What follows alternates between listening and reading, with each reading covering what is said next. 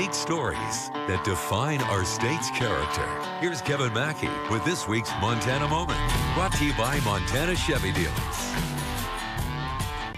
From the printing press to the internet, humankind has always created tools to make life easier. One of the most revolutionary inventions to save time and work was the sewing machine. The Butte Silver Bow Archives has opened a new exhibit showcasing antique sewing machines and the men who collected and repaired them. In our Montana moment, Kevin Mackey was so Butte. The late Virgil Sargent, known as Sarge, was a ranch raised cowboy who appreciated the tools that made ranch life easier.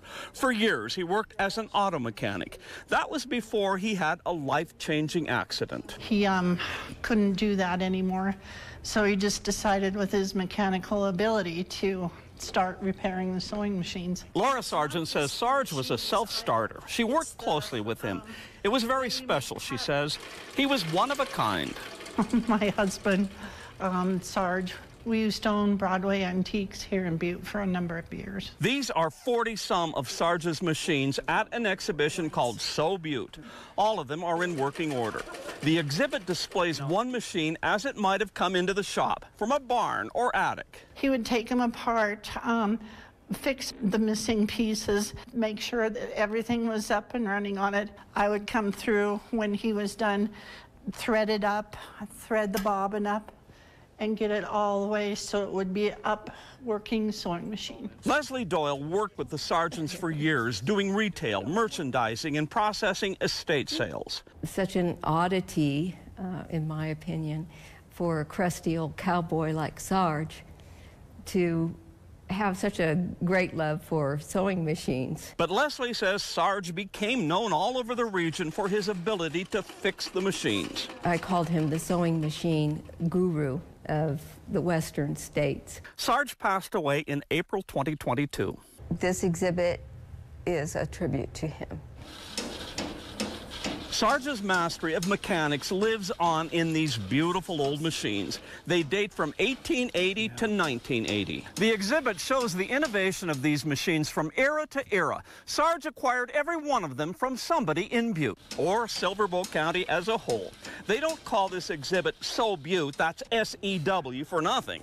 Every machine has a story. This is the oldest machine in the collection. It's a white treadle coffin top machine um, that probably came across the prairie in a covered wagon. Sarge was especially fond of the Singer machine. This is called a puzzle box, and each of these machines, Singer machines, in the treadle cabinets, came with one of these, so you could use each of these attachments to create various um, stitches and designs. This is an unusual cabinet because um, this do door opens here for added ventilation while you're working. These are hand crank machines. The power comes not from the treadle with your feet, but from um, your hand. They may be old fashioned, but they still serve an essential purpose, especially in developing countries. These machines allow women or meant to um, sew in areas where there's no electricity. It allows them to provide a cottage industry,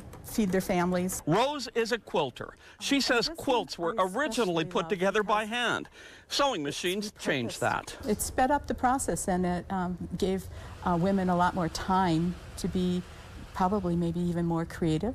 The average person could get a machine and um, it saved a lot of time and energy from going from hand sewing to uh, using a sewing machine. Sewing machines revolutionized all kinds of industry for binding books, shoemaking, tent making, sewing bags for agricultural use. In Butte, you would have found machines involved in lots of businesses, tailor shops, fur shops. There were sewing rooms here in Butte that employed a lot of women um, to make garments as uh, a way to make a living. These are photos of women working for the Works Progress Administration, or WPA, in the Great Depression. They produced all kinds of clothing. Everyday garments. Uh, this is a work jacket, a mining work jacket. Jump ahead 30 or 40 years and you'll find more modern machines from the 60s, 70s, and 80s. But today's machines are more sophisticated than those. The progression of machines that you'll see here um, shows us the um, engineering um, genius. My first um, goal was to set them for our community to enjoy and perhaps be inspired by. An industrial leather sewing machine stands in Sarge's honor, enhanced with a pair of his boots. Kevin Mackey, NBC, Montana. If you want to watch this story again, or if you missed one of my previous stories, you can watch every Montana moment in a special segment on our website at nbcmontana.com.